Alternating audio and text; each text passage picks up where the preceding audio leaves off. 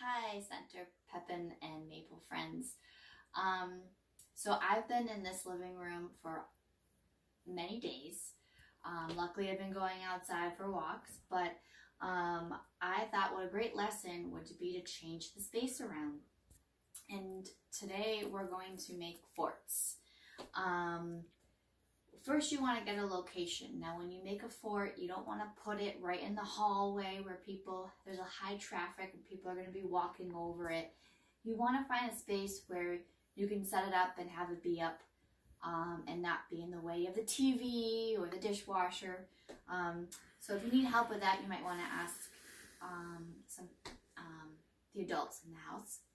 Um, a lot of places people use um, forts is on the couch.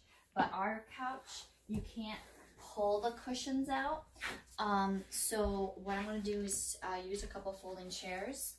Um, undo the chairs, or um, open the chairs, that is. So I have a couple folding chairs. Um, you definitely want blankets. So I have one here. I have two chairs facing each other. There are many, many ways to make forts. These are just a couple suggestions. I encourage you to play and see what works best for you in your space. I put a blanket over these chairs. I want to pull a little tight. And that's not much of a fort. So, but I got this really nice big pillow here. So I think I'm going to use that to this up. And then there's nowhere actually for me to go in there, so I gotta pull the chairs apart.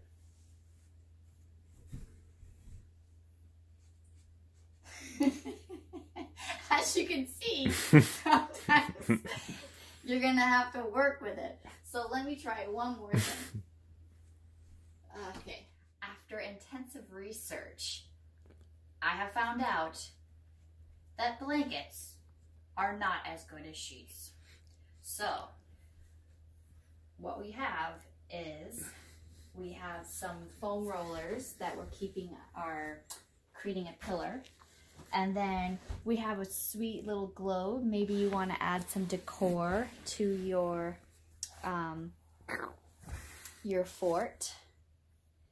And uh, feel free to add some rugs and then when you do go in there, what are you going to be making? Are you writing? Are you drawing?